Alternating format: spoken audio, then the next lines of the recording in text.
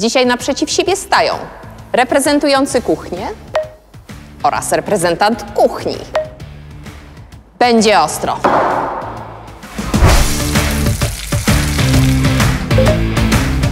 Siemano, tutaj kucharz. Witam Was w pojedynku smaku organizowanego razem z marką Duda Nasze Polskie. Nazywam się Patrycja, prowadzę bloga Patty in the Kitchen i dzisiaj zaproszę Was w podróż na Kujawy.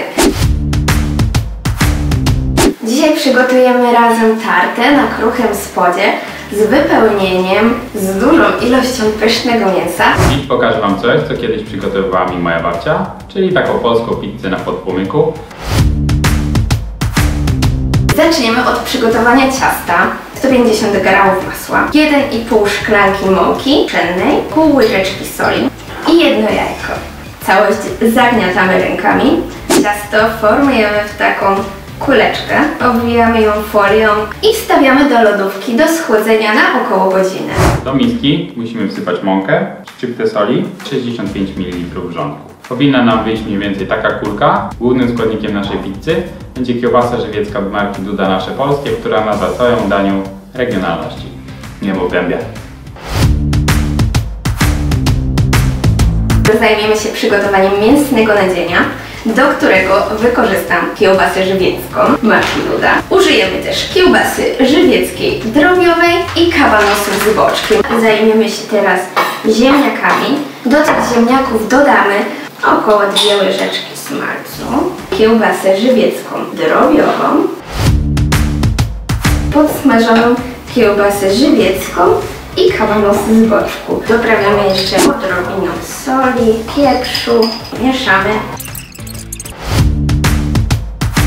Nasze ciasto odpoczęło już 20 minut, więc możemy je rozwałkować.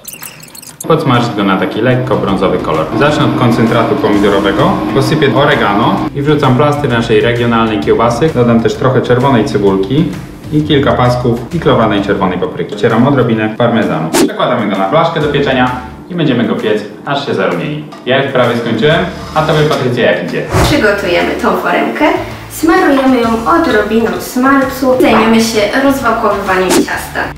Przekładamy je do foremki. Do tego farszu dodamy sobie jeszcze jedno jajko.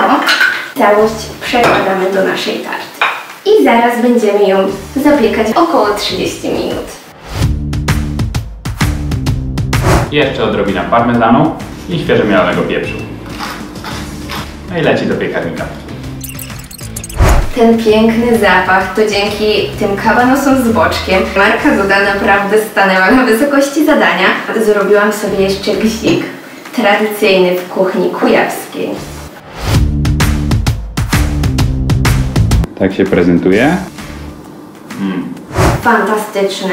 Miałam nosa do tej kiełbasy żywieckiej.